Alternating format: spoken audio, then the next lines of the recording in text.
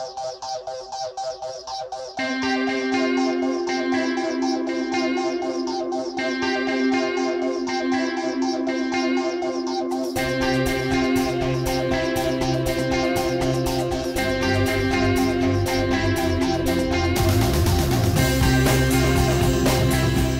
European Organization for Nuclear Research, CERN, is one of the largest and most important particle physics research centers in the world, with almost 3,000 employees.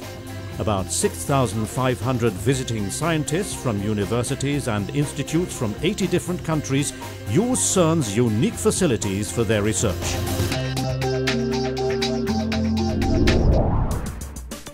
On December the 1st, 2005, CERN celebrated the end of the year of Einstein and the 100th birthday of his theory of relativity with the largest video conference in the world held in Geneva. Six of the world's greatest physics laboratories and science museums were connected via satellite to CERN in Geneva for the Beyond Einstein event. The event was an interactive program on Einstein and was continuously broadcast for 12 hours, with scientists and Nobel Prize winners taking part from all around the world. The real goal is uh, making science closer to the general public. This is like a TV show. Uh, we are trying to explain Albert Einstein's physics, but not just his physics, also the mysteries that his physics has left open for today's scientists to study and today's uh, also young students to be intrigued by. Uh, the applications that are coming from uh, Einstein's discoveries into technology, the technology that we are using today, and the technology of the future, and uh, also Einstein as a, as a human character. It was an extraordinary event, not only because of the interactive program, but also due to the technology behind it. All seven of the locations around the world used Tandberg video conferencing technology. With Tandberg's multi-point feature, each participant was always able to see the colleagues at each of the other locations. CERN chose Tandberg with the greatest of confidence to provide technical support for the Beyond Einstein event. We have worked with Tandberg for many years already.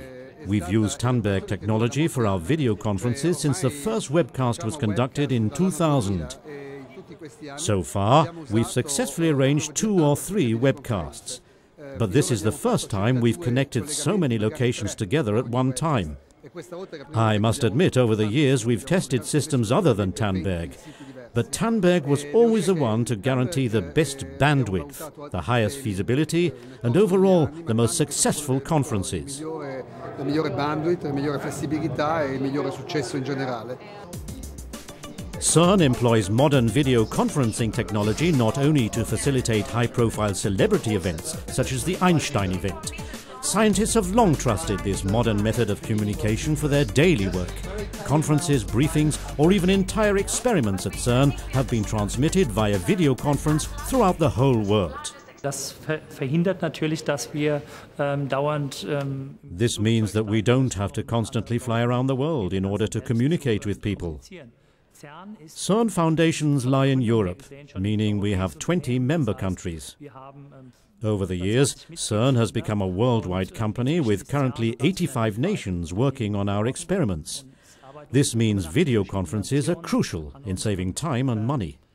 Experimenten, das heißt Videokonferenzen sind absolut wichtig, um Zeit und auch Geld zu sparen.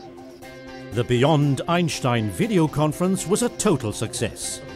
There was not a single technical problem during the 12 hours of transmission, thanks to Tandberg. At the same time, Beyond Einstein was the largest video conference to ever take place, not only with regards to the running time, but also the number of participants and bandwidth. With this latest success, Tandberg applied for recognition in the Guinness Book of Records. The Beyond Einstein event was further impressive evidence for the reliability and performance of Tandberg video conference systems.